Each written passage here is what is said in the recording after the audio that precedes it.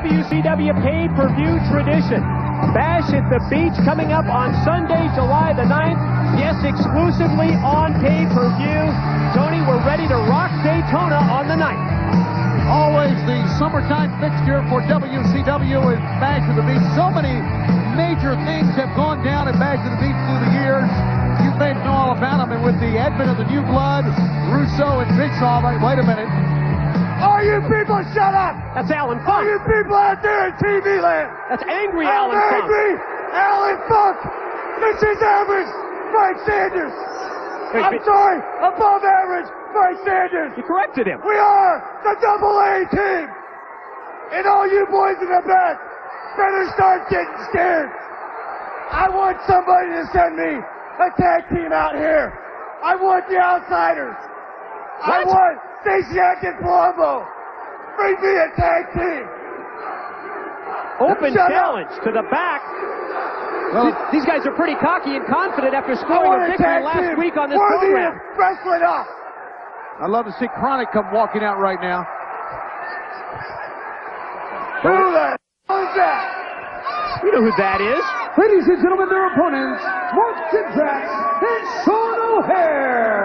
Well, Mark Jindrak, we've seen in action before, the man accompanying him to the Who ring. the hell is this, Penter? Sean I want O'Haire a real tag team! in his WCW debut. One victory for this team.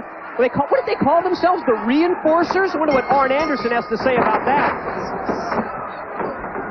Uh, Jindrak and O'Haire come in. They are two big guys. Uh, we we have been following the career of Jindrak. He has had limited time in the ring, but he has really blossomed, we understand, in, in the WCW power plant. He has great leg strength. He was a, a former collision basketball player. I've seen him play basketball. I know he's an all-around athlete. There's a good look at Mark Jindrak. And Sean O'Haire looks great. Looks like he's in top physical condition. And let's see if they can come in and uh, what they can do against this very bolsterous team. Come on, Ralph! Nice drop toe hold by Jindrak. Turns things over to Sean O'Haire. Into the corner goes the above average Mike Sanders. You know what? You take a look at him. He's not such a bad looking guy. Oh, the cross body block by Jindrak, just throwing his body at Sanders. But Sanders is able to reverse things on O'Haire and send him airborne. That was a, an above average move, Mike. That was a great move. Pretty decent wrestler, I'd say. You're not kidding. Now he's going to turn things over to his reinforcers partner, Angry Allan Funk. Double leapfrog. And then Angry Allan Funk takes O'Haire, drives him face first to the canvas, hook of the leg, shoulders down, and a two count. Someone needs to explain to us, and we have seen Allan Funk for a number of uh, weeks here on Worldwide Wrestling. Angry Allan, exactly what this bizarre getup is all about. This, this, this variation of, uh, of a skirt and a tight. What now? I don't know, I think it's kind of a nice look. Sort of separates him from the rest of the crowd, doesn't it? From the rest of the world, I would agree with that. I think it's all about Angry Allan Funk being noticed. Look at him. He's his own man, right? Sanders with the cover and only a two count from the referee and again down quickly going for that pinfall attempt. But Sean O'Haire able to avoid the three count. Now off the rope, Sanders sends O'Haire. Sunset flip, momentum over, to Angry Allan Funk in to break it up. Angry Allan's got the, the fans rather angry as well.